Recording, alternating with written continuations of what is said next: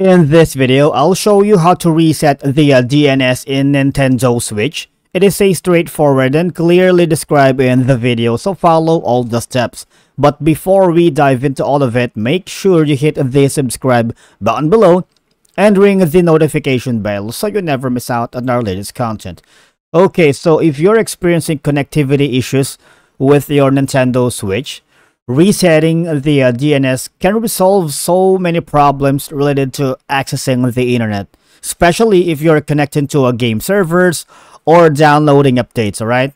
Because um, switching to a different DNS servers like, you know, Google um, DNS or Cloudflare DNS might offer better performance and faster response times compared to default DNS provided by your um, ISP. So how do we reset the uh, DNS settings on Nintendo Switch? First of all, you need to uh, go to your Nintendo Switch. All right, go to um, System Settings.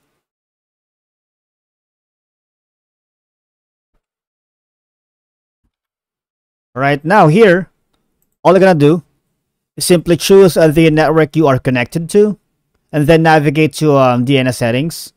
Now, to revert to the default DNS settings provided by your network or ISP, choose the auto obtained right here auto obtain DNS. Now it will revert to the default DNS settings provided by your network or ISP. Also, this is the part if you wanted to uh, add like a manually um a configuration system right here.